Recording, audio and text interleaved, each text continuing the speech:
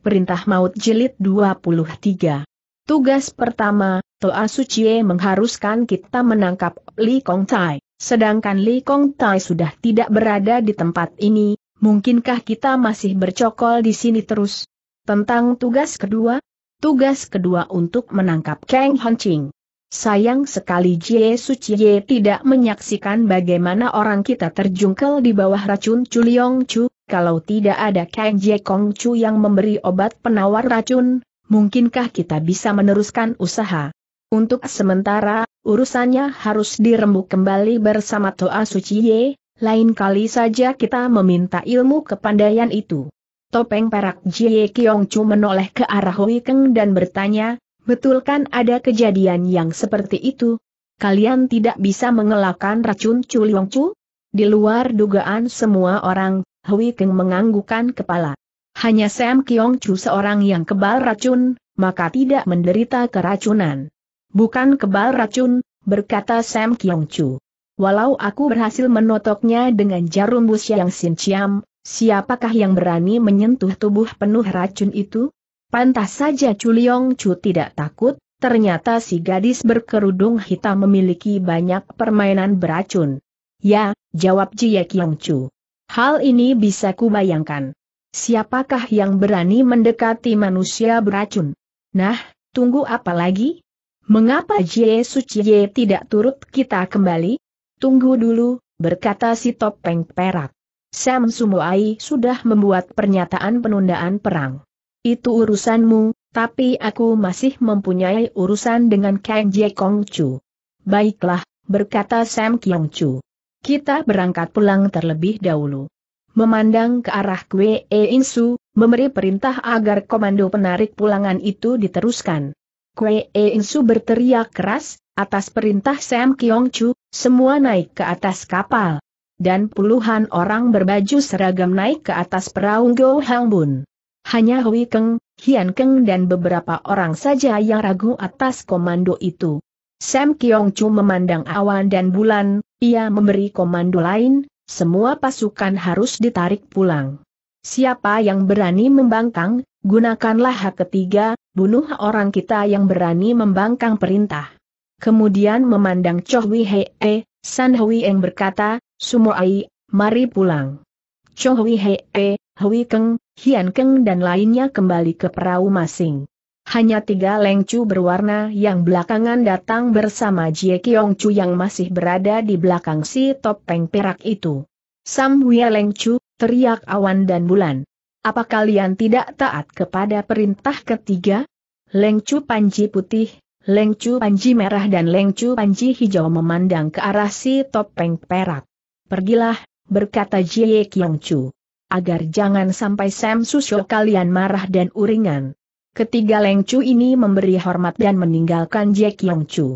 Perahu besar Go Hang Bun mulai berangkat, inilah Kero Sam Kiong Chu yang tidak ingin mengeroyok Kang Han Ching bertiga. Sebelum berangkat, ia masih sempat memberi kisikan penting. Berhatilah menghadapi jurus ketiga dari tiga jurus pukulan burung mautnya.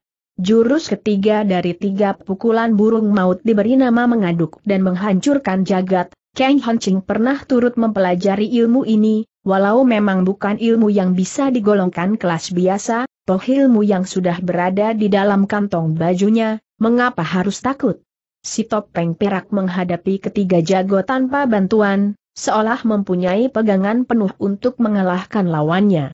Kang Ching pernah bercerita, kalau ilmu kepandaian topeng perak ini berat dihadapi, Suatu hal yang membuat Liu Lieneng penasaran, sebagai murid pendekar kipas wasiat yang ternama, belum pernah ia tunduk kepada orang, dengan adanya kesempatan baik ini, segera ia tampil ke depan, dihadapi Jie Kiong Chu sambil membentak, hayo, hadapi dahulu buntut cecak yang pertama. Oh, oh, oh, mau bertanding?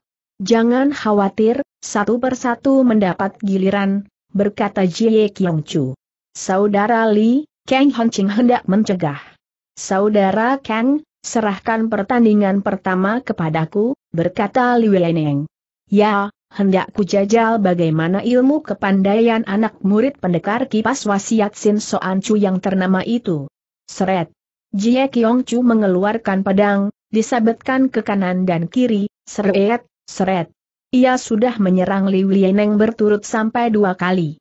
Tersipu-sipu Liu Lieneng mengeluarkan kipasnya, kalau menghadapi orang biasa, mungkin Liu Lieneng tidak gugup seperti kali itu, yang membuatnya agak repot adalah arah pedang Jie Kiong Chu yang terlalu cepat, untuk membuat posisi bagus terpaksa ia mundur dua tiga langkah.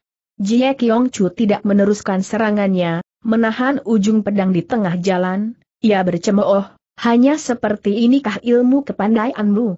Sungguh memalukan Datuk Utara. Memalukan pendekar kipas wasiat.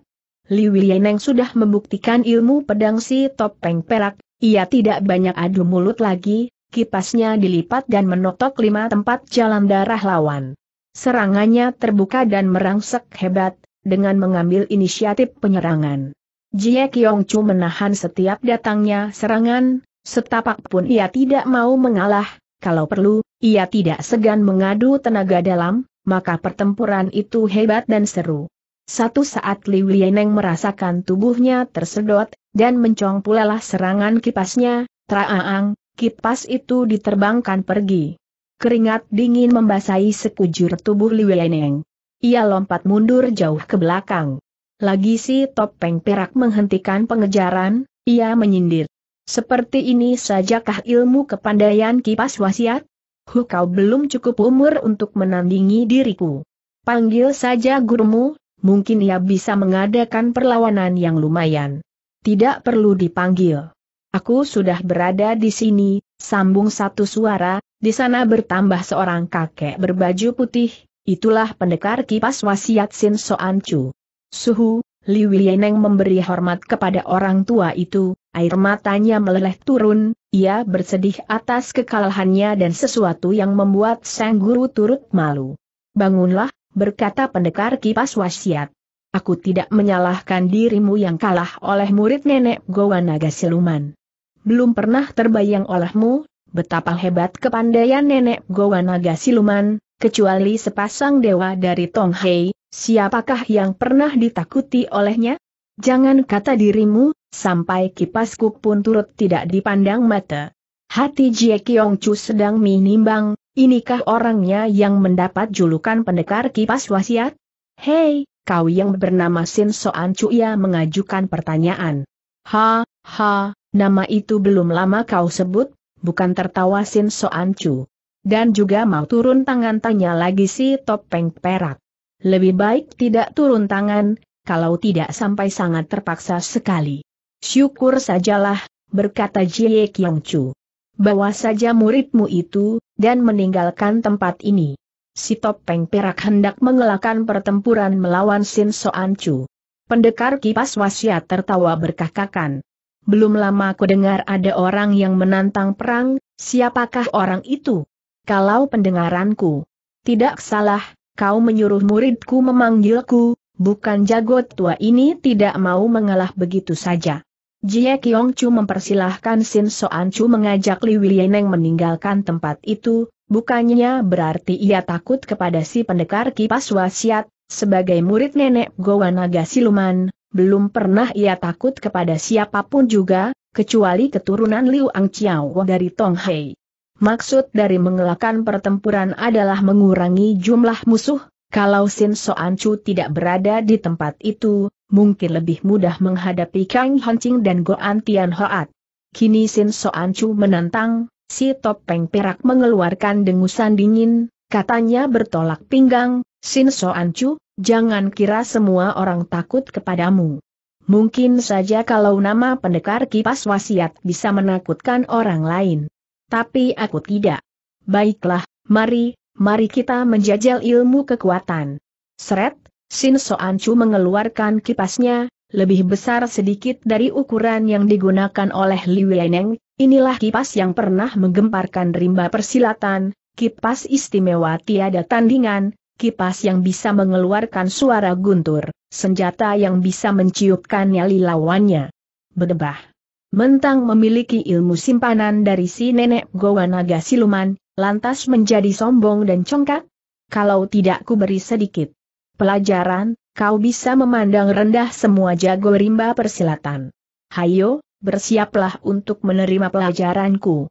Jangan banyak putar lidah, perlihatkanlah kemampuanmu, berkata Jie Kiong Chu penuh tantangan. Ya, kukira tidak ada orang yang mengatakan aku menghina anak muda, mengingat kedudukanmu sebagai murid nenek Gowa Naga Siluman yang ternama. Membarengi dan seiring dengan kata Sin Soan Chu yang terakhir, terdengar satu suara, belegur, inilah suatu pertanda dari mulainya gerakan tipu silat kipas wasiat. Arah kipas ditujukan ke arah batok kepala si topeng perak. Traang, Jie Kiong Chu meletakkan pedang di atas kepala menangkis datangnya serangan itu, terdengarlah suara berdengung dari beradunya dua senjata. Pendekar kipas wasiat Sin Soan Chu menelungkupkan senjatanya, berganti dan mengikuti arah gerakannya, mengancam tenggorokan. Satu kecepatan yang tiada cara. Traaan. Lagi Jie Kiong Chu menangkis datangnya ancaman itu. Seperti apa yang sudah dikatakan, kalau suara guntur gemuruh yang bisa membisinkan telinga itu sangat mengganggu konsentrasinya lawan kipas. Wasiat. Jie Kiong Chu berhasil menekan gangguan fisik tersebut, sebagai murid nenek Gowa Naga Siluman yang ternama, ia tidak kehilangan pamor. Kipas dan pedang saling gempur. Kang Hancing turut mengikuti jalannya pertempuran, hatinya bergumam. Pendekar kipas wasiat Sin Soan Chu memang luar biasa, kekuatan Jie Kiong Chu tidak mungkin bisa memenangkan si jago tua. Bukan Kang Hancing saja yang memaklumi akan adanya perbedaan kekuatan tenaga dalam. Sin Soan Chu juga sudah memperhitungkan untung ruginya dari jalan pertandingan tadi, ia akan mengalahkan si topeng perak dengan mengandalkan kekuatan tenaga dalamnya yang berlebihan. Serangannya tidak pernah mereda. Kilatan gerak kipas dan suara gemuruh menguasai suasana, seketika angkasa menjadi gelap. Walau begitu, Jie Kiong Chu masih bisa bertahan, ilmu pedangnya memang luar biasa, di bidang perubahan silat inilah ia menanam keunggulannya, pedangnya yang lincah memberi perlawanan yang gigih. Teriing, teriing, traaang, traaan. Tiba suara menjadi sunyi, dua bayangan itu terpisah. Li Weneng, Kang Hancing dikakat terkejut, mementangkan mati mereka lebar. Tampak Jie Kiong Chu mundur 3-4 langkah. Pedangnya dilintang menjaga dada, deburan napasnya seperti uap lokomotif, sengal keras. Di pihak lain, walau keadaan Sin Soan Chu agak baikan, juga mengalami cedera, sebagian lengan bajunya pecah panjang, itulah bekas goresan luka pedang lawan. Pendekar tua ini mengatupkan kedua matanya, juga sedang mengheningkan cipta. Tiba terdengar suara dengusan dingin yang dicetuskan oleh Jlie Kiong Chu, kaki manusia bertopeng perak ini melejit, maka badan pun lurus segaris dengan pedang, meluncur ke arah pendekar kipas wasiat. Sin Soan Chu sudah selesai membenarkan peredaran jalan darah yang menyimpang ke beberapa jaluran salah, memperhitungkan dan menerima bisingan suara ancaman bahaya itu, ia tertawa berkear, ciyaat. Dan terdengarlah suara gelugurnya kipas memapaki datangnya serangan Jie Kiong Chu. Kang Hancing memeras keringat dingin, Bisakah Sin Soan Chu menahan datangnya? Serangan kehadirannya burung tanpa sayap salah satu dari tiga pukulan burung maut, intisari tipu silat golongan Go Hang Bun itu? Sin Soan Chu mengipas dan mengipas lagi, bukan kipasan biasa, itulah kipasan yang disertai oleh tenaga dalam, dibina bersama kipas wasiatnya. Mengingat keadaan tenaga dalam Jie Kiong Chu yang jauh berada di bawah Sin Soan Chu, Seharusnya manusia berselubung topeng perak itu harus bisa diterbangkan dari tempat kedudukannya. Gambar yang sudah digambarkan itu betul terjadi, tapi perkembangan berikutnya memang aneh. Tubuh Jie Kiong Chu yang terapung itu menukik, terjadilah posisi kedua dari jurus tiga pukulan burung maut, gerak tipu yang diberi nama gagah perkasa membentangkan sayap, bagaikan seekor kelelawar, ia balik terbang kembali, tetap menyerang Sin Soan Chu. Pendekar kipas wasiat salah membuat perhitungan, mana disangka kalau ada seseorang yang bisa terbang seperti itu baru saja ia siap sedia dengan posisi baru, serangan Jie Kiong Chu sudah datang, apa boleh buat, ia menggebrik kipas cepat. Terjadilah pergumulan jarak dekat, gedubrak, gedubrak, salah satu dari dua bayangan yang saling gumul itu mental jauh. Perubahan tadi terlalu cepat, tidak bisa diikuti oleh bayangan mata. Hati Li Wieneng berdebar, siapakah yang dikalahkan? Seng Guru atau Jie Kiong Chu? Di saat ini terdengar suara Sin Soan Chu yang lantang, nah, lain kali jangan suka menantang orang yang belum hadir di tempatnya. Sudah tentu yang kalah bukan si pendekar kipas wasiat itu. Panorama di tempat itu baru terpeta, tampak sebagian rambut Sin Soan Chu terpapas botak.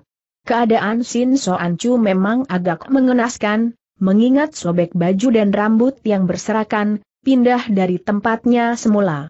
Lebih mengenaskan lagi adalah keadaan Jack Yong Chu, topengnya meleng ke samping, hampir copot, ia duduk numprah di tanah, darah berceceran di beberapa tempat, tangannya masih memegang pedang, tapi hanya pedang sepotong, bagian tajamnya sudah hilang, ternyata pedang itu sudah patah menjadi dua bagian, ia hanya memegang yang bagian gagang, dan sebagian lagi tertancap pada pundak sendiri, ia dikalahkan Sin Soan Chu. Sin Soan Chu, berkata Jie Kiong Chu dengan suara lemah. Catat perhitungan di hari ini, tunggulah pembalasan Ngo Hang Bun di kemudian hari. Sesudah itu tubuhnya melejit, meninggalkan lapangan. Kang Ching, Li Wenenga dan Go Tian Hoat menghampiri pendekar kipas wasiat Sin Soan Chu. Suhu, bagaimana keadaanmu bertanya Li Weneng. Ilmu silat Huang Kiam Hoat dari nenek Gowa Naga Siluman memang tiada cara, Sin Soan Chu menghela napas. Hampir saja aku dikalahkan olehnya. Yang digunakan tadi adalah ilmu tiga pukulan burung maut, berkata Kang Ching. Intisari dari ilmu Hui Hang Kiam Hoat. Sin Soan Chu menoleh, memandang putra Datuk Selatan tersebut, ia agak heran, karena jago muda itu bisa menyebutkan nama dari ilmu golongan sesat. Bagaimana kau tahu ia mengajukan pertanyaan? Gurumu jua pandai menggunakan ilmu Hui Hang Kiam Hoat? Bukan, berkata Kang Ching. Hanya suatu kebetulan Bo Ampu bisa turut mempelajari ilmu tiga pukulan burung maut itu. Diceritakan juga bagaimana Carrie mendapat pelajaran ilmu tiga pukulan burung maut. Oh, Sin Soan Chu bisa menerima kenyataan. Kalau begitu, murid nenek Gowa Naga Siluman itu hanya menggunakan dua jurus saja? Jurus ketiga yang diberi nama mengamuk dan menghancurkan jagat itu belum dikeluarkan? Tentunya lebih hebat dari jurus yang terdahulu. Bo Ampua belum bisa menyelami perubahannya, berkata Kang Ching. Menurut catatan yang ada, tipu ketiga adalah tipu terhebat di ini masa. Oh, Begitu berkata Sin Soan Chu. Tadi seharusnya ku beri kesempatan ia menggunakan tipu itu, hendak ku saksikan betapa hebatnya tipu tersebut. Bicara sampai di sini, teringat bagaimana ia pun hampir mendapat cedera, kalau kurang lihai saja, batok kepalanya tergelincir jatuh. Kalau tidak bantuan rambut di atasnya, dan kini ia menjadi botak, lengan bajunya pun terluka, ia tertawa sendiri. Mungkin, katanya secara jujur. Kalau murid nenek Gowa Naga Siluman tadi sempat menggunakan tipu mengamuk dan menghancurkan jagat, yang menjadi pecundang adalah diriku sendiri. Suhu, berkata Liweneng. Begitu hebatkah ilmu nenek Gowa Naga Siluman? Sin Soan Chu menganggukkan kepala, menunjuk Kang Hancing dan berkata, gurunya juga turun gunung, hanya karena nenek Gowa Naga Siluman ini. Kalau kita tidak bisa bekerja sama untuk menghadapinya, tidak ada orang yang bisa mengalahkan nenek tersebut. Ilmu tidak ada tandingan bertanya Li Wieneng. Kecuali sepasang dewa dari daerah Tonghei, berkata Sin Soan Chu. Hanya cucu keturunan Liu Angqiao itulah yang pernah mengalahkan nenek Gowa Naga Siluman. Kehadiran Sin Soan Chu bukan suatu kebetulan, ia datang dengan berita yang menyatakan kehilangannya Chuliong Chu. Tentunya sudah jatuh ke dalam tangan Parta Ingko Hang Bun. Untuk menyelidiki dengan pasti, mereka berpencaran. Bab 75 Mengikuti perjalanan Kang Ching. Karena jumlah mereka terbatas, seorang satu. Jurusan dan Kang Ching membuat penyelidikan seorang diri. Ia meninggalkan perjalanan air, menyusup dan menyamar sebagai seorang sastrawan. Tidak ada kampung dan tidak ada perumahan, hanya pohon liar yang tumbuh, itulah daerah Taiga Hunsan. Kini Kang Hancing sedang menerobosi daerah ini, daerah yang pasti diliwati Hang Chiu dan Kim Hoa.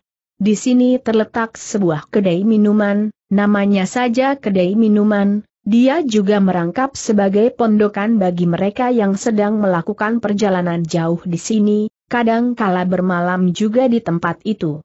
Kedai Taiga Bunsan sangat kecil dan jorok, toh tidak ada orang yang mengomel oleh karenanya. Kecuali kedai itu, tidak ada tempat istirahat kedua. Pemilik kedai bernama Tiolosik, kini sedang ada dua orang tamu di tempatnya, kedua tamu itu adalah pedagang cita. Mereka sedang memandang keluar, tampak hujan mulai turun. Hei, tambah arak lagi berkata seorang pedagang cita yang di sebelah kiri, badannya lebih besar dari kawannya. Dan untukku tambah daging, berkata Seng kawan, agak kurus dan bermata sipit. Tiolosit tidak menggunakan pembantu, ia melayani sendiri segala kebutuhan dari tamunya. Membawakan barang-barang yang diminta. Kedua pedagang cita itu menenggak arak dan memakan daging, hujan masih belum mau berhenti, turun rintik. Loteng, berkata pedagang cita yang agak gemukan. Di dalam keadaan yang seperti ini, siapakah yang mau melakukan perjalanan? Jalan hanya satu, berkata orang yang dipanggil Loteng. Kalau tidak menggunakan jalan ini, ke manakah ia melangkah? Baru selesai ucapnya, di saat itulah Kang Ching tiba. Memasuki kedai minuman Tiolosit. Kedai itu sangat strategis, tidak ada jalan kedua untuk menyimpang dari apa yang sudah ditentukan. Minum the cap botol, Tuan, berkata Tiolosit menjamukan jajanannya. Kang Ching menganggukkan kepala sambil menyeret bangku duduk, ia mengiyakan tawaran itu. Tidak lama Tiolosit membawakan minuman khasnya. Chuan mau makan apa tanya pemilik kedai ini. Bawakan saja barang yang ada, berkata Kang. Ching. Tiolosit membawakan makanan kecil. Di saat ia hendak mengundurkan diri, tiba Kang Ching memanggil, Lo Tongki. Chuan hendak menambah sesuatu tanya Tiolosit. Bukan, Kang Ching menatapnya dalam. Aku hendak menanyakan sesuatu. Apakah yang Chuan hendak tanyakan itu aku hendak menanyakan seseorang. Bagaimanakah orang itu? Tua? Muda? Atau mempunyai ciri lainnya? Dia adalah adikku, seorang gadis berpakaian warna hitam. Tiolosit berpikir beberapa waktu, Akhirnya ia berkata, kukira tidak ada gadis yang Chuan sebutkan itu melewati kedai kami. Dua pedagang Cita Loteng dan Bah Ching sedang uplek memperbincangkan urusan mereka, kini mulai tertarik dengan pertanyaan Kang Ching. mereka mengalihkan pandangan, memandang jago muda kita. Heran, berkata Kang Ching. Jalan hanya satu, bagaimana ia tidak melewati tempat ini? Ada urusan apa yang menyebabkan Chuan sibuk bertanya Tiolosit? Adikku sedang ngambek, melarikan diri, berkata Kang Ching. Mungkin salah jalan, berkata Tiolosit. Wah, bagaimana baiknya, ya, Kang Ching. Melamun. Tuan, berkata Tiolosit. Kedua tamu itu adalah pedagang cita yang sering mundar-mandir. Di sekitar daerah ini, mungkin tahu kalau ada seorang gadis seperti Chuan sebutkan itu. Tiolosit menghampiri Loteng dan Bah Ching, kepada mereka ia mengajukan pertanyaan. Chuan mungkin bisa membantu, kalau bertemu dengan adik perempuannya yang sesat di jalan, entah di mana kini berada. Di manakah sesatnya gadis itu bertanya Bah Ching. Tiolosit menoleh dan memandang Kang Han Ching, Artinya agar orang yang bersangkutan langsung bisa memberi penjelasan. Kang Ching berkata, adikku itu meninggalkan Tai Si Hung, entah di mana kini ia berada. Loteng memandang Bah Ching dan berkata, Bah Ching, kau belum lama berkeliaran di sekitar daerah itu, mungkinkah melihat adik saudara yang digambarkan? Berapakah umur adik saudara bertanya Bah Ching? 19 tahun, jawab Kang Ching pakaian warna apa yang dikenakan olehnya ia mengenakan pakaian warna hitam. Juga mengenakan kerudung tipis yang berwarna hitam? Aaaa, berteriak Kang Hancing. Itulah Chuliong Chu. Kalau tidak, bagaimana seorang pedagang cita bisa memberi gambaran yang begitu tepat? Betul, betul, katanya cepat. Di mana saudara melihat adik kami?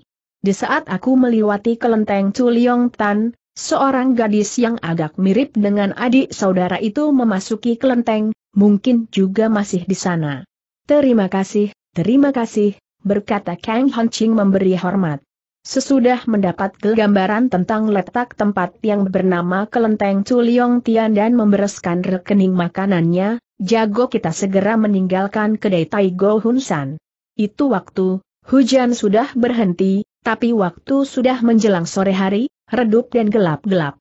Kelenteng Culiong Tian adalah sebuah kelenteng bobrok yang sudah tiada penghuninya, sebentar kemudian Kang Honching sudah berada di tempat itu. Di sudut ruang pendopo sedang meringkuk seseorang, itulah Chuliong Chu yang mengenakan kerudung sutra tipis, walau membelakangi dirinya, Kang Honching masih tidak melupakan bentuk potongan gadis tersebut. Hadirnya Kang Honching tidak menarik perhatian Chuliong Chu. Mungkinkah masih mengambek? Kang Honching tidak mengerti apa yang dikerjakan oleh Chuliong Chu di dalam kelenteng ini. Nona Chu, panggil Kang Honching. Chuliong Chu menoleh di dalam keadaan gelap, tidak tampak perubahan wajah gadis itu, juga tidak membuka suara. Sangka Kang Honching, tentunya Chuliong Chu masih ngambek, karena ia membela Sam Kyong Chu. Karena itulah ia datang menghampiri.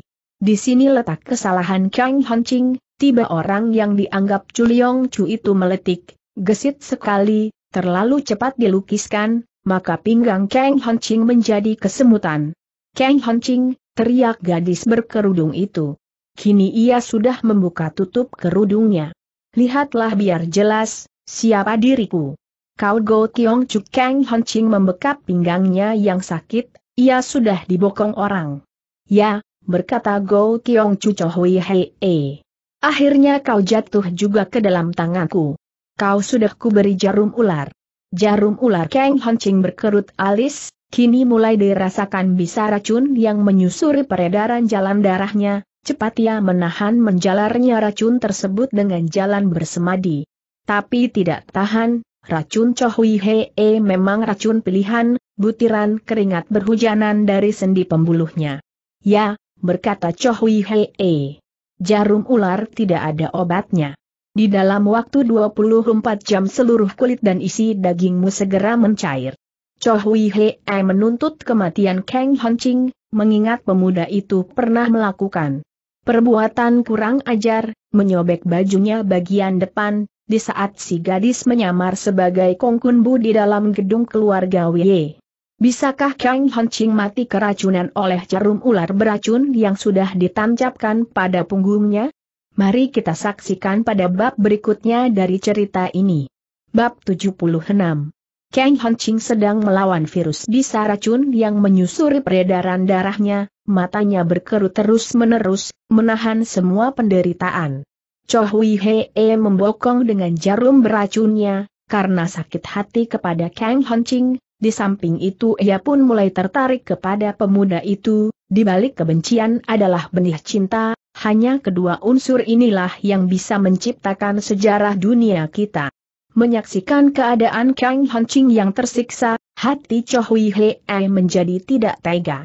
Timbul rasa penyesalannya. Dendam permusuhan itu belum melampaui batas kematian si pemuda. Toh hanya menyobek bajunya saja? Apalagi mengingat ketidaksengajaan Kang Honching. Cho Hui Hei menganggap sudah melakukan sesuatu yang keliwatan. Jai Kong Chu, panggilnya perlahan. Kang Honching membuka matanya yang dikatupkan, sepatah kata pun tidak keluar dari mulut itu. Jai Kongcu, panggil lagi Cho Hui Hei. Hanya karena kesembronoanmu yang menyobek bajuku, apalagi di depan beberapa orang, rasa benciku susah dipadamkan, sesudahnya kejadian ini, aku, aku, meminta jarum ular berbisa. Itu waktu, berkata Kang Honching. Tidak kusangka, kalau orang yang menyamar sebagai Kongkun Bun adalah seorang wanita. Bukan maksudku membuat kau menjadi malu. Aku menyesal karena tidak memperhatikan terlebih dahulu, maka kematianku di bawah tanganmu sudah kuanggap sebagai satu hukum karma, timbal balik. Dengan sibuk Choh Wei Hei e berkata, walau hatiku penuh kebencian, bersumpah membunuh, tapi, sesudah jarum ular itu tertancap di dalam dagingmu, timbul rasa penyesalanku. Betul-betul aku menyesal. Kang Honching tertawa tawar. Yang jelas, katanya, jarum jahat itu sudah bersarang di dalam tubuhku. Mengapa kau tidak berusaha mengeluarkan bisa racun itu bertanya Choh Hui Hei. Kang Ching mendelikan mata. Bagaimana aku bisa tenang kalau digeriangi terus-menerus berkata si pemuda dingin. Aku, aku, Choh Hui Hei tidak bisa meneruskan pembicaraannya. Lekas pergi bentak Kang Ching. Aku tidak membutuhkan belas kasihanmu. Wajah Choh Hui Hei berubah, tiba-tiba tangannya terayun, plak, ia menempiling pipi si pemuda. Gedubrak, tubuh Kang Ching segera terbanting jatuh. Di dalam keadaan yang seperti itu, semua kepandaian si pemuda sudah tidak dapat digunakan lagi. Oh haha, Hui Hei mengeluarkan jeritan tertahan. Cepat dipondong tubuh si pemuda. Ia meratap. Oh, aku tidak sengaja. Dua butir air mata yang bening menetesi wajah Kang Ching. Sebagai pemimpin kelima dari Partai Ingko Hang Bun, Cho Hui Hee belum pernah mengucurkan air mata, kini di depannya seorang yang belum lama mau dibunuh. Ia tidak bisa membendung bahan kesedihannya itu. Urat Kang Ching mulai mengejang, inilah tanda dari keracunan. Jatuhnya air mata Cho Hui Hee membuat si pemuda sadarkan diri lagi, memandang si gadis sebentar, dengan suara lemah, ia berkata, Nona, kukira tidak guna ditangisi, jiwaku tidak bisa ditolong. Racun jarum itu terlalu cepat bekerja. Lebih baik Nona bisa segera meninggalkan tempat ini.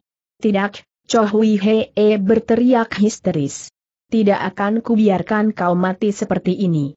Tiba Cho Hui Hee menggendong tubuh Kang Ching, secepat itu meninggalkan kelenteng Tu Leong Tian. Dengan maksud memberi pertolongan kepada si pemuda. Ke manakah Choh Wei Hei hendak membawa Kang Ching? Jarum ular didapat dari nenek siluman ular, dan kini Choh Wei Hei hendak membawa korban keracunan itu kepada ahli yang bersangkutan. Ia menuju ke arah lembah ular. Berapa lama Kang Ching berada di dalam gendongan si gadis, jago kita tidak tahu. Di saat ia sadarkan diri, segera mengajukan pertanyaan, ke mana Nona mau membawa diriku? Lembah ular, Jawab Cho Hui Hee singkat, ia tidak menghentikan larinya. Akan kumintakan obat kepada nenek ular. Hanya dia seorang yang bisa menyembuhkan racun ciptaannya. Lebih baik Nona tidak terlalu menyusahkan diri, berkata Kang Ching. Mengapa? Sebelum kita tiba di sana, aku sudah kehilangan napasku, jawab Kang Ching. Tidak, jerit Cho Hui Hee. Latihanmu cukup kuat kalau saja bisa mempertahankan agar racun itu tidak menyerang jantung, di dalam waktu empat jam pasti nenek ular bisa menyembuhkannya. Seorang diri Cho Hui Hee membawa Kang Ching, tanpa istirahat, tentu saja merupakan pekerjaan berat, keringatnya mulai bertetesan, bersatu padu dengan keringat Kang Ching yang menahan rasa penderitaan bisa racun. Ia masih melarikan diri. Di dalam gendongan Cho Hui Hee, Kang Ching merasakan kehangatannya seorang gadis, hanya terpisah oleh selapis baju, wajah si pemuda tepat berada di depan payudara tokoh Go Hang Bun kelima itu. Ini pun termasuk salah satu penderitaan. Cho Hui Hee sedang berpacu dengan waktu, kalau nasib bagus, mungkin ia bisa membawa Kang Ching ke tempat tujuan, sebelum pemuda itu menghembuskan napasnya yang penghabisan. Tapi kalau nasib buruk, terlambat tiba, tentu tidak bisa menolongnya lagi. Apa mau dikata, karena itulah, sedapat mungkin ia berlaku cepat. Napasnya tersengal-sengal. Nona, istirahatlah, berkata Kang Ching. Ia dapat mengikuti irama sengalan napas gadis tersebut. Cho Hui Hei meletakkan tubuh si pemuda, gerakannya sangat berhati sekali. Di mana dirasakan sakit ia bertanya penuh perhatian. Kang Ching menghendaki suatu istirahat untuk kepentingan pribadi Nona itu sendiri, Bagaimanapun Choh Hei bisa mati konyol kalau dipaksakan mengerjakan sesuatu beban berat terus-menerus seperti itu. Choh Hei salah terima, sangkanya istirahat untuk si pemuda. Begitu penuh pusat konsentrasinya yang dijatuhkan kepada Kang Ching, sampai ia melupakan kelelahan diri sendiri. Maksudku, nonalah yang istirahat, berkata Kang Ching lemah. Lembah ular sudah tidak jauh, berkata Choh Wei Hei. Kita harus sudah berada di tempat itu sebelum virus bisa racun menyerang ulu hatimu. Tanpa memperdulikan keadaan dirinya yang sudah hampir kehabisan tenaga, lagi Choh Wei Hee membopong Kang Ching, tetap ditujukan ke arah lembah ular. Nona begitu baik kepadaku, bagaimana aku harus membalas budi ini berkata Kang Ching. Gara aku juga, berkata Choh Wei Hee. Kalau aku tidak menusuk dengan jarum ular, tentu tidak sampai terjadi kejadian ini. Sudah menjadi kewajibanku untuk menyembuhkanmu. Sebelumnya aku mengucapkan terima kasih, berkata Kang Ching. Jangan berkata seperti itu, berkata Choh Wei Hee penuh perhatian, seolah merawat calon suaminya sendiri. Singkatnya cerita, mereka sudah berada di mulut lembah ular. Di sana terpasang pengumuman yang berbunyi seperti ini. Daerah berbahaya. Banyak ular berbisa. Semua orang dilarang masuk. Nama lembah ular selalu dihubungkan dengan nenek siluman ular, setiap jengkal dari tempat itu memang tersembunyi bahaya ular, maka diberi nama seperti di atas. Ada yang mengatakan nama lembah ular didapat karena adanya nenek siluman ular. Ada juga yang mengatakan nama lembah ular didapat karena daerah itu memang banyak bersemayam seribu satu macam ular. Bagaimana kebenaran dua pendapat ini? Tidak seorang pun yang bisa memberi keputusan. Yang jelas ialah, di dalam lembah ular terdapat seorang nenek yang bernama nenek siluman ular, juga didiami oleh ribuan ular berbisa atau ular tidak berbisa. Nenek siluman ular bukan penghuni baru, dia sudah menempati daerah itu puluhan tahun, terkenal dengan jamu anti bisa, hanya nenek siluman ular yang bisa menjual aneka macam ular dan hasil yang didapat dari ular. Siapa saja yang kena keracunan, sesudah makan obat anti bisa si nenek, pasti sembuh segera. Begitu juga kena gigitan serangga beracun atau gigitan ular beracun, sesudah ditaburi atau diolesi obat si nenek, pasti sembuh segera. Karena itulah banyak toko obat memesan obat anti bisa nenek siluman ular. Tentu saja dengan harga yang luar biasa pula. Harga obatan si nenek diperhitungkan dengan harga emas, tidak lagi dengan jumlah uang biasa. Setiap tahun nenek siluman ular biasa mengutus muridnya memperdagangkan obat istimewa itu, dan pasti laris terjual, tidak pernah ada sisa. Ketenaran nenek siluman ular tidak lepas dari hasil ularnya itu. Hanya satu pantangan, yaitu ia melarang orang memasuki lembah ular, baik yang dikenal atau yang tidak dikenal. Walau orang itu berkepentingan hendak membeli sesuatu darinya, kalau saja berani melanggar pantangan lembah ular itu, kematian adalah jalan satunya. Karena itu daerah lembah ular masih berupa daerah yang misterius. Lain orang lain, lain lagi Chow Hee, hubungannya dengan si nenek bukan hubungan biasa, kini gadis itu langsung memasuki lembah ular. Tidak lama Chow Hee sudah berada di depan sebuah bangunan, ciri dari bangunan ini adalah ditumbuhi oleh aneka macam ular, binatang tanpa kaki itu menjadi penjaga rumah majikannya. Bibi, bibi ular, panggil Choh Wei Hee di depan rumah ular tersebut. Oh, nona kelima, kau baru kembali, terdengar satu suara menyahuti panggilan Choh Wei Hee, itulah suara si nenek siluman ular. Seiring dengan suara nenek siluman ular, pintu rumah ular pun terbuka. Di sana tampak seorang nenek dengan rambut awutan, Bukan rambut yang awutan itu, di sana beriapan binatang kesayangannya, itulah ular kecil yang selalu dibawa ke mana. Mungkin nama nenek siluman ular didapat dari sebab ini. Eh, siapa yang kau bawa itu tegur si nenek, manakala ia melihat di dalam pondongan Chohui Hee terdapat seorang laki asing. Seorang kawan, jawaban Chohui Hee tidak terlalu panjang. Mengapa dia? Tolonglah, Bibi, tolonglah keluarkan bisa racun dari dalam tubuhnya. Oh, keracunan? Mudah saja, serahkan kepadaku, pasti beres. Eh, bukankah kau juga ada membawa obat anti racun? Mengapa tidak diberikan kepadanya? Ular macam apakah yang menyerang dirinya? Cho Hui meletakkan Kang Hancing pada balai di pojok ruangan ular itu, sangat berhati sekali, selesai melakukan pekerjaan tadi, baru ia menjawab pertanyaan nenek siluman ular, Bibi, dia keracunan jarum ular. Tolonglah. Sedari tadi wajah nenek ular tertawa cengar-cengir, segala macam racun dianggap remeh olehnya, mendengar nama jarum ular, wajahnya berubah seketika.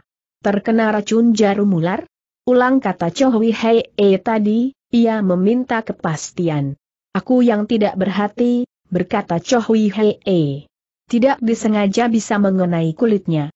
Nenek ular menghampiri baleriot itu, diperhatikan keadaan Kang Hancing beberapa waktu, kemudian ia terpekur. Bibi, bisakah dia ditolong bertanya Chowi Hei E? Bibi, tolonglah. Nona kelima, berkata nenek ular berpaling dan menatap wajah Chohui Hee dalam-dalam. Bukankah sudah ku beritahu kalau racun jarum ular adalah racun luar biasa yang tiada cara?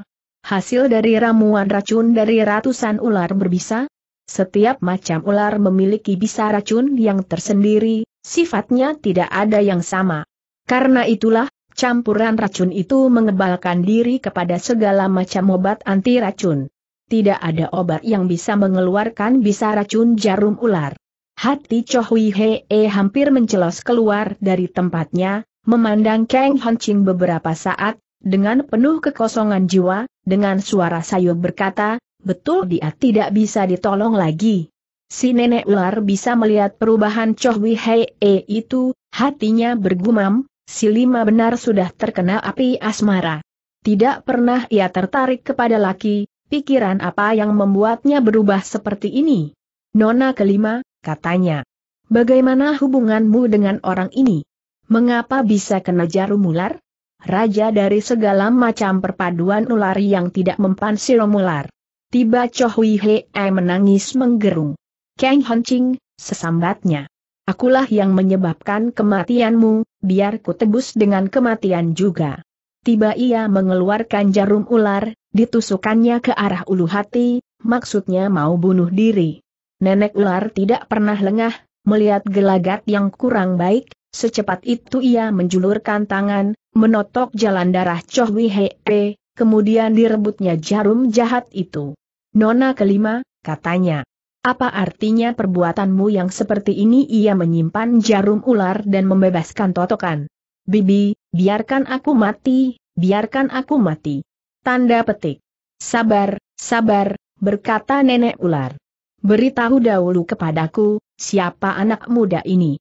Hanya seorang kawan biasa. Ya, tentunya dari kawan biasa, berkata nenek ular. Kemudian? Oh, dia segera mati, oh, Choh Wei He menangis semakin sedih. Eh, mengapa kau mengobrol mata? Tidak bisakah bersabar lagi? Kau, kau katakan tidak bisa ditolong oh, oh, oh, itukah yang kau sedihkan? Bilakah? Aku mengatakan tidak bisa ditolong sama sekali? Maksud Bibi? Choh Wei Hee memandang nenek ular dengan penuh harapan. Untuk pengobatan dirinya, kau boleh serahkan kepadaku. Sebelum itu, kau harus memberitahu, siapa anak muda ini? Dia, dia hanya kawan biasa. Mengapa harus takut apa kau kira aku tidak tahu? Tahu apa? Secara tidak sengaja kutusukan jarum ular itu, maka... Maka kau sendirilah yang menjadi panik dan bingung, sambung nenek ular. Ya, begitulah kau muda. Tidak salah lagi, tentunya kalian bertengkar, di dalam keadaan khilaf, kau tusukan jarum ular itu. Jangan coba menyangkal. Aku pun pernah mengalami zaman muda, dahulu, di waktu si kakek belum masuk kubur, saking sengit kepada kebandolannya, aku juga seperti keadaanmu sekarang, ku suruh si putih menggigit, hampir saja merenggut jiwanya. Mau tidak bibi menyembuhkannya potong Chohui Hee? Tentu saja mau. Tapi harus sabar. Kau tahu, Berapa lama baru bisa mencabut virus racun jarum ularnya? Berapa lama waktu yang diperlukan tujuh hari tujuh malam? Aa, Choh Hui He melompongkan mulut. Begitu lama? Tidak lama, Neng. Bayangkan, waktu tujuh hari baru cukup memberi kepanasan untuk memeras keluar bisa racun dari dalam tubuhnya. Hanya satu jalan ini, aku harus menyiapkan kukusan besar, kuali besar dan kukusan besar? kuali besar? Apa pula guna benda itu? Mengukus dirinya. Aa, mungkinkah dia tidak mati kepanasan? Tentu saja tidak. Dia tidak direbus langsung. Tapi dioven di atas perlengkapan yang sudah kusebutkan tadi. Memang tidak enak, tapi kecuali ini, tidak ada care pengobatan lainnya. Baiklah. Lekas bibi bikin persiapan, berkata Chohui Hei. Di saat ini, Terdengar suara mendesisnya ular, di sana muncul seekor binatang tiada kaki, bentuknya kecil, dengan lidah yang diulurkan, seolah memberi laporan sesuatu. Eh, si kuning mau memberi laporan berkata nenek ular. Apa yang terjadi di luar lembah? Ular kecil yang dipanggil si kuning itu tidak sempat meneruskan laporannya, tubuhnya menggeliat, kemudian terbalik celentang, dengan perut menghadap ke atas, binatang itu sudah koit. Nenek ular masih kurang yakin, kalau si kuning yang diandalkan kuat dan tangkas itu bisa dibunuh orang, ia memeriksa beberapa saat dan memang tidak bisa ditolong lagi. Wajahnya berubah, dengan heran berjengkit. Siapa yang sudah melukai si kuningku suara itu belum habis diucapkan, tiba pintu rumah didobrak orang, beraak, di sana sudah bertambah seorang kakek berbaju hitam, Itulah kakek beracun Chu Hoaiu. Kau yang membunuh si kuning kau yang menangkap putriku? Kedua suara itu hampir berbarengan, di atas adalah pertanyaan nenek ular dan yang tercatat di bawahnya adalah pertanyaan Chu. Apa nenek ular berkerut alis, dengan alasan apa kau melukai si kuning? Kau sudah membunuh ularku. Betul, ular beracun yang mengganggu di sepanjang jalan sudah bersih kuhancurkan. Semua sudah kubunuh mati. Sudah kau bunuh semua? Berapa banyak ular yang kau bunuh? Mana ku tahu. Yang jelas ular brengsek yang mengganggu di sepanjang jalan itu sudah bersih. Kemarahan nenek ular meluap, betapa tidak, ia hidup bersama rombongan ular itu sampai puluhan tahun, sudah timbul rasa persaudaraan yang kental, teristimewa delapan ekor yang diberi nama delapan jenderal licin, khusus ditugaskan menjaga jalan lembah ular, kini sudah tidak bersisa, tentunya turut menjadi korban si kakek berbaju hitam. Nenek ular berusaha menahan kemarahannya, ia berkata, memang hebat. Nama manusia beracun bukan nama yang kosong. Syukurlah, kalau kau kenal kepadaku. Apa anak gadisku ditawan olehmu bertanya Chu Hoaiu. Kau kira, aku yang menangkap anak gadismu. Tanda tanya balik tanya nenek ular. Kedatanganku untuk bertanya kepadamu, berkata Chu Hoaiu. Lebih baik kau jawab pertanyaan itu. Seharusnya memang demikian, berkata nenek ular. Lenyapnya anak gadismu itu tidak mempunyai sangkut paut dengan diriku. Boleh saja ku beritahu di mana dia berada. Kalau kau belum menghancurkan barisan penjaga ularku. Kini, hektometer, hem. Kini bagaimana tanya Chu Hai uh menantang. Biarpun aku mengampuni dosamu. Anak-anak buahku yang berada di dalam lembah ini tidak bisa. Yang diartikan anak buah oleh si nenek lar adalah rombongan binatang tidak berkaki itu. Ha, ha, kakek beracun tertawa. Hendak menggunakan ular beracun menghadapi manusia beracun. Kukira kau akan kehilangan set yang tepat. Nenek ular berkata, Walau kau juga bergelar racun, tapi racun manusia tidak bisa disamakan dengan racunnya binatang piaraanku. Mari. Mari kita bertanding. Sesudah itu ia menoleh ke arah Chohui Hee dan berkata, Nona kelima, coba kau bawa dirinya dan pindah ke ruang belakang. Chohui Hee bisa menyelami sifat si nenek ular yang mengulur waktu, sengaja mengobrol ke barat dan ke timur, dengan maksud membuat persiapan. Tentunya persiapan itu sudah selesai, kini pertandingan segera akan dimulai, maka menyuruhnya pergi meninggalkan tempat itu. Cho Hui Hee menghampiri balai, di pondongnya Kang Ching, siap meninggalkan ruangan tersebut. Tiba terdengar bentakan Chu Ai Uh, tunggu dulu. Siapa yang hendak kau bawa itu? Kang Jie Kong Chu. Mau apa balik tanya Cho Hui Hee. Kularang kau membawanya, berkata Chu Ai Uh. Kalau hendak ku bawa, bagaimana tantang Cho Hui Hee? Mentang bergar manusia beracun, kau hendak berbuat galak. Di lain saat, terdengar lain suara turut memasuki ruangan itu, Go Sumoai, lebih baik kau tinggalkan orang yang dikehendaki cuci ampul. Di sana bertambah seorang bertopeng perak, inilah pemimpin Go Hang Bun kedua, Jie Kiong Chu yang belum lama kalah melawan pendekar kipas wasiat. Tubuh Chohui Hee gemetaran dan lemas, kehadirannya Seng Jie Sucie di tempat itu membawa ekor panjang baginya. Memandang si topeng perak, Chu Lu membentak, eh, siapa lagi? Jie Kiong Chu memberi hormat berkata, Chu Ciampu tidak kenal kepadaku, karena kita baru pertama kali bertemu.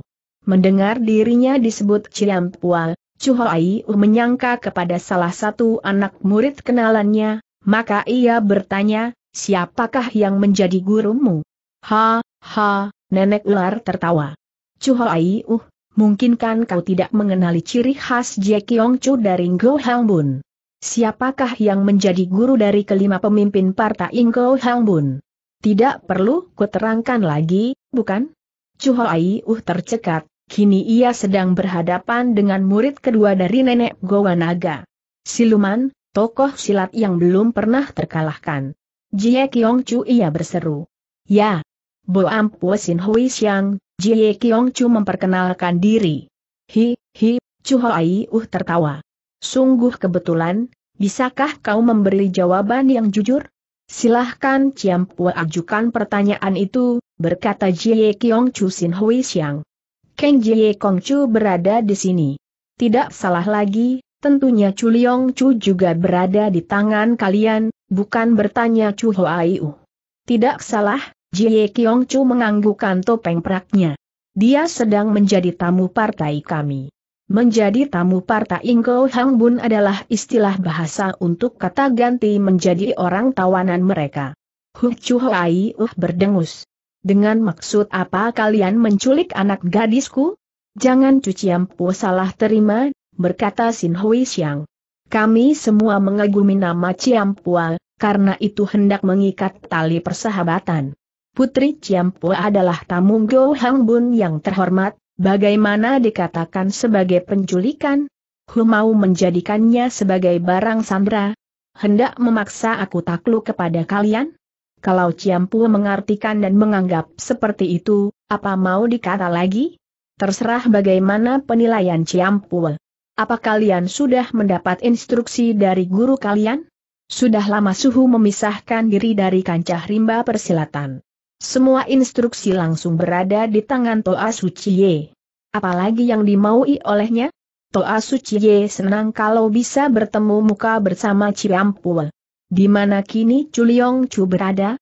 Putri Ciampu sudah diantarkan kepada Toa Suciye. Bersediakah Ciampu mengadakan perundingan langsung? Ha, ha, ha, Chu Hai Uh tertawa. Kau kira aku takut memasuki sarang Go Hang Bun? itulah suatu penilaian yang salah. Katakan, aku bersedia. Lagi Ciampu salah paham.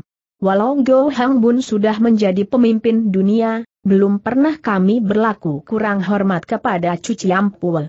Di mana kini Toa Suciamu itu berada Ciampu hendak berunding sekarang? Ya. Hendak kulihat, apa yang kalian bisa lakukan kepada kakek dan putri beracun. Silahkan, berkata Sin Hui yang memberi hormat. Di depan sudah tersedia kereta, kereta itu akan membawa Ciampu ke tempat Toa Suciai berada. Kemudian Sin Hui yang menoleh ke arah Chohui Hei. Sumuai, panggilnya. Mari berangkat pulang. Chohui Hei semakin gemetaran, dengan memberanikan diri, ia berkata, lebih baik Jie Sucie mengawani Cu Ciampu saja. Aku masih ada urusan, segera menyusul belakangan. Go Sumoai takut kalau jasa pribadimu direbut orang? Kau yang berhasil menangkap Kang Honching, semua orang sudah tahu. Tidak mungkin kuambil alih orang itu. Dia, dia terkena jarum ular, Choh Hui Hee memberi keterangan. Tidak apa. Pesan Toa Suci adalah membawanya di dalam keadaan mati atau hidup. Tapi, tapi Kang Ching jatuh ke dalam tanganku. Kukira aku berhak menentukan sesuatu untuknya. Go Ai hendak menentang perintah sudah kukatakan, sesudah mengobati dan menghilangkan racunnya, segera kubawa ke markas. Mungkinkah Jie Suciye tidak percaya? Duduk persoalannya bukan percaya atau tidak percaya. Inilah perintah Toa Suciye, mati atau hidup, kita diharuskan membawa Kang Ching. Perdebatan masih berjalan terus. Kalau si topeng perak Sin Hui yang mempertahankan, Gokyong Cucoh Hui Hee juga tidak mau merubah kemauan semula. Chuhoi berdiri di depan pintu, ia tidak keberatan bersatu kereta dengan Kang Ching. sebagai seorang ahli racunan ia tidak percaya tidak bisa membantunya. Di saat ini, tiba satu suara halus memasuki telinga Chohui Hee, kalau kau ada niatan menolong Kang Hancing, lebih baik turut dahulu kemauan suciemu. Bawalah Kang Hancing keluar rumah, aku bisa memberi bantuan. Itulah suara yang disalurkan dengan gelombang tekanan tinggi, hanya orang tertentu yang bisa menerimanya. Arah datangnya dari luar rumah ular. Choh Hui Hei menduga kepada si kakek beracun, ia menoleh ke sana, tampak kakek berbaju hitam itu sedang berpaling ke lain arah. Go Sumoai, tiba Jie Kiong Chu memperkeras suara. Kau berani menentang perintah Ngo Hang Bun. Baiklah, Cho Hui Hei mengalah, ia membawa Kang Han Ching meninggalkan ruangan rumah ular. Di depan pintu sudah menanti sebuah kereta, Cho Hui Hei termangu memandang ke arah kereta. Yang akan membawanya, juga membawa Kang Han Ching bersama si kakek beracun. Lagi berdengung bisikan suara halus, lekas lari. Tanpa menunggu instruksi kedua, Cho Hui Hee melarikan diri, tentu saja dengan membawa tubuh Kang Ching. Di belakangnya terdengar suara bentakan Sin Hui Xiang, Go Sumoai kembali. Bukannya Cho Hui Hee balik kembali, tapi ia mempercepat ayunan kakinya, meninggalkan rumah ular, menuju ke arah rimba. Tubuh Sin Hui Xiang melejit dengan maksud membuat pengejaran. Di saat ini bergerak satu bayangan putih, melintang di tengah jalan menghadang Sin Hui Xiang. Kau tanda seru Sin Hui Xiang tertegun, lagi ia berhadapan dengan lawan lama, pemuda berbaju putih yang pernah membantu Kang Ching melarikan diri di rumah gubuk dekat gedung keluarga Wiye, itulah Tong Jie Peng. Ya, aku, berkata Tong Jie Peng. Jie Kiong Chu tidak mungkin bisa melupakanku, bukan? Apalagi maksudmu menghadang perjalanan orang bentak Sin Hui Xiang. Apa maksud Jie Kiong Chu mengejar orang inilah soal pribadi. Persoalan partai Inggo Hang, Bun, berkata Sin Hui Xiang. Urusan Jie Kiong Chu dan Go Kiong Chu memang soal pribadi kalian, soal partai kalian, tapi siapakah pemuda yang berada di dalam gendongan sumo aimu itu? Sin Hui Xiang sudah mengeluarkan pedang, dengan geram membentak, Jangan kira aku takut kepadamu. Inilah kau yang memaksa. Mau adu silat Tong Jie Peng tertawa mengejek. Boleh saja. Tapi bukan sekarang. Kini aku tidak mempunyai waktu. Perhatikanlah baik tanda ini. Dengan berdiri tegak, Tong Jie Peng memperlihatkan suatu gerak tipu silat, tangan kirinya diacungkan ke atas, dan tangan kanan berada di belakang kepala. Ini ciri khas dari aliran ilmu silatnya. Menyaksikan gerakan tadi, badan Jie Kiong Chu gemetaran. Kau, kau, suaranya tidak segalak tadi. Kau datang dari mana? Tolong beritahu kepada gurumu, berkata Tong Jie Peng. Berbuatlah kebaikan, tapi bukan kejahatan. Sesudah itu, tubuhnya melejit, menyusul ke arah lenyapnya Chohui Hei. Bab 77 Menyusul perjalanan Cho Hui Hee yang melarikan Kang Ching, sebentar kemudian ia sudah meninggalkan daerah lembah ular. Mengetahui kalau ia sudah bebas dari pengejarnya, mengingat keadaannya yang betul sudah menjadi lemah, ia meletakkan Kang Ching. Ia sudah tidak kuat melangkah, terlalu berat beban yang dibawa, terlalu letih melakukan perjalanan yang seperti itu. Dan kini ia bersandar pada pohon yang tidak jauh dari tempat Kang Hancing terbaring. Betapa letih pun keadaannya, ia masih memperbaiki kedudukan si pemuda, dipindahkannya ke tempat tumpukan rumput tebal, dengan maksud meringankan rasa sakit Kang Hancing. Ia menyusut keringat dan memandang ke atas, matahari pagi sudah bergeser di tengah, tidak lama batas waktu empat jam itu segera habis. Terasa dirinya diombang-ambingkan nasib buruk, ia berhasil melarikan diri dari tangan maut Jie Sucianya tapi bisakah menolong Kang Hancing? Tanda tanya.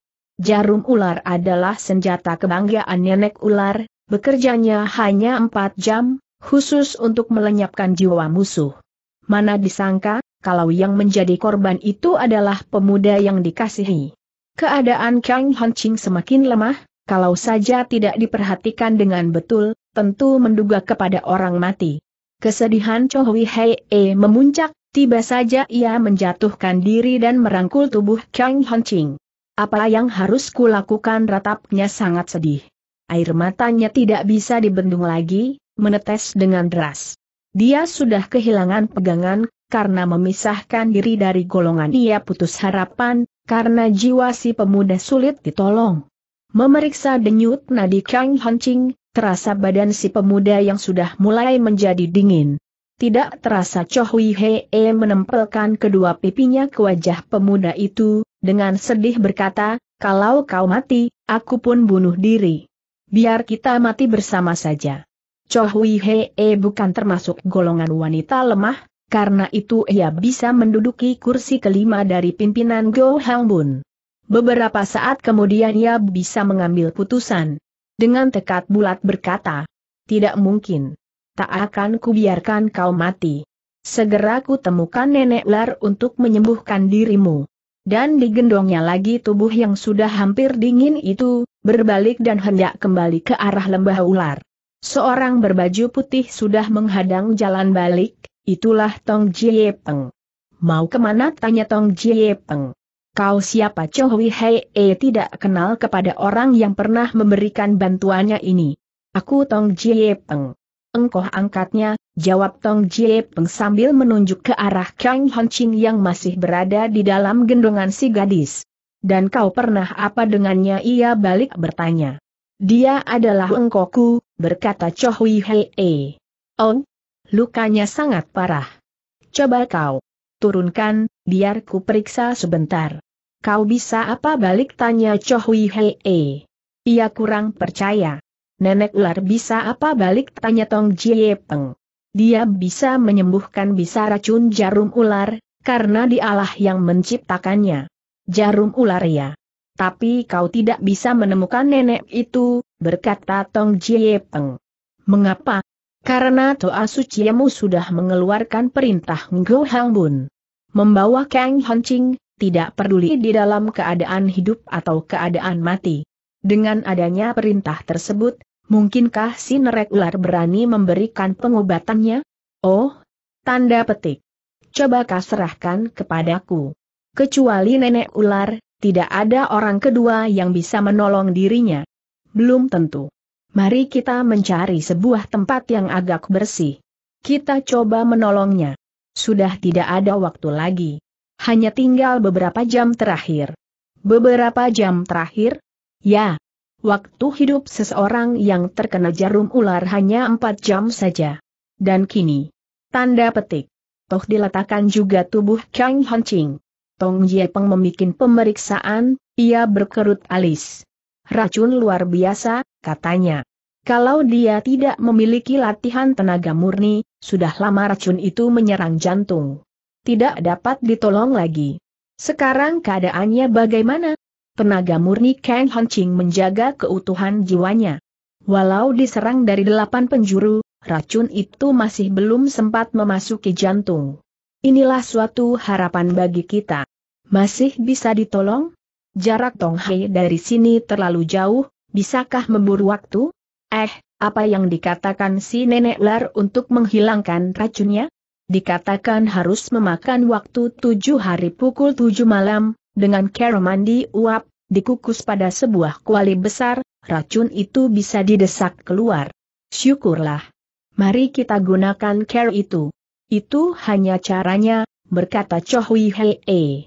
Tentu disertai dengan syarat lain. Seperti pengurutan dan pengobatan.